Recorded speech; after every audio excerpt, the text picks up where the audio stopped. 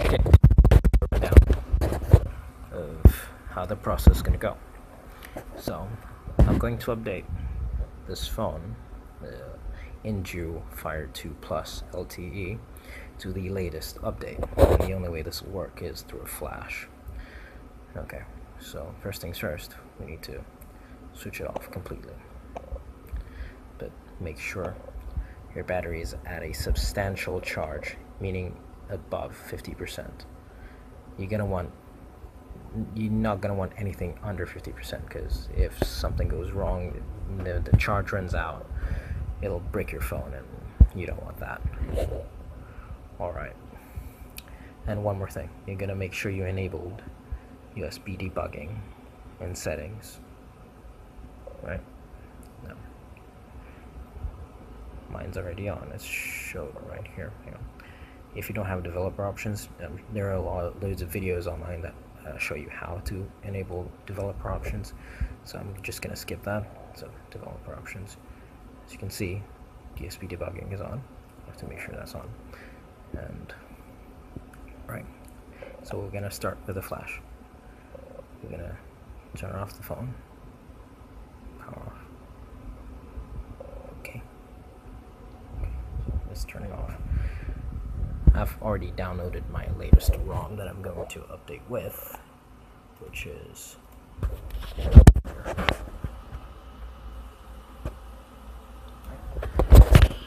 what I'm going to do is extract the files that's in this folder. Alright? So these are the files that was inside the compressed RAR file. So I'm just gonna make a random folder here on the desktop. New folder, right? And just extract them to that new folder. Doesn't matter what you name it, that is that is of no consequence. Just remember where you put it.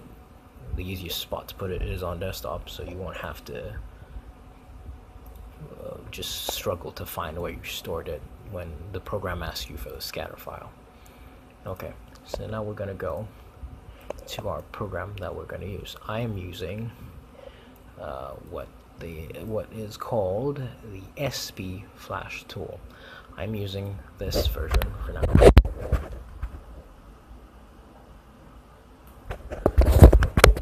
Works pretty fine with these phones, and uh, nothing's gone wrong. Uh, well, nothing that's not not intentional.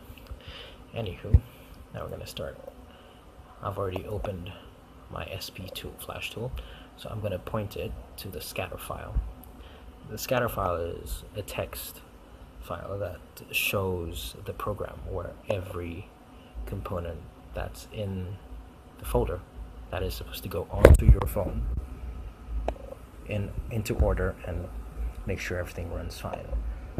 So you're gonna make you're gonna have to make sure that your folder contains a scatter file. It usually is called scatter tech scatter, right? It's gonna have a, some strange number, but scatter at the end, which I'm going to show you.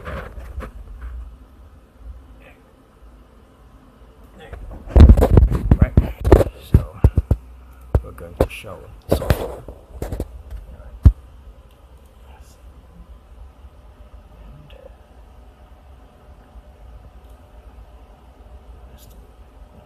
The new folder on my desktop that contains a ROM file is the new folder which we just created.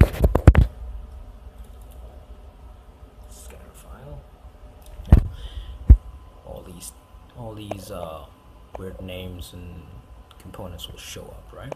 Right under there. Before we start, we're gonna make sure to click here, dialog, and go to and choose firmware upgrade.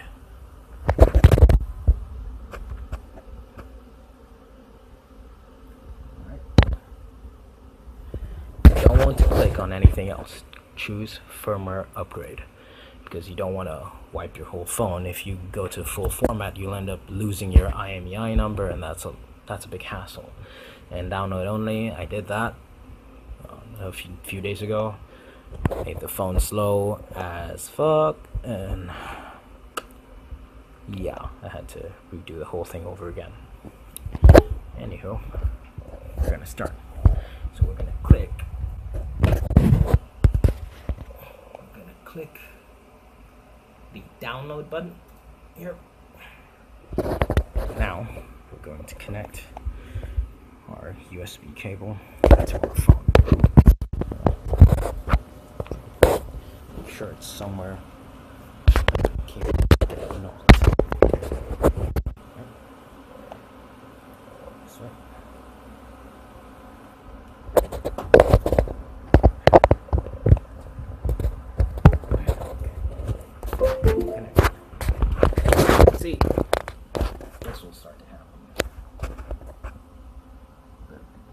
Something will show up it will say format starting and show you percentages as it goes along. Right? And when this hits 100%, when this bar that I showed you hits 100%, it's done. So you, you're not going to want to touch your phone until this is done because you don't want anything going wrong. Alright? So, this is when, when this process is done, a dialog box will show up saying download complete. Right? Or well, whatever, it says complete.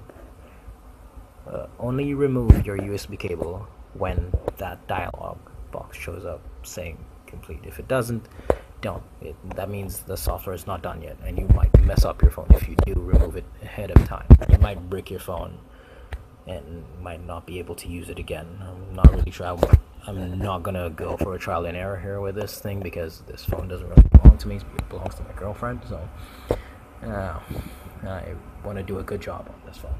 Can't risk doing it. Anywho, that's the whole rundown of how to do a uh, flash with Chinese phones. Uh, this one is an Innjoo, but there other phones like it that uses the same principle. They're called MediaTek phones. They all have the same boards, uh, similar uh, Android versions and whatnot. So, um, hope this goes as well for you. If you need help and something's gone wrong for you, hit me up in the comment section, and I'll try to help you as best as I can. Um, goodbye for now.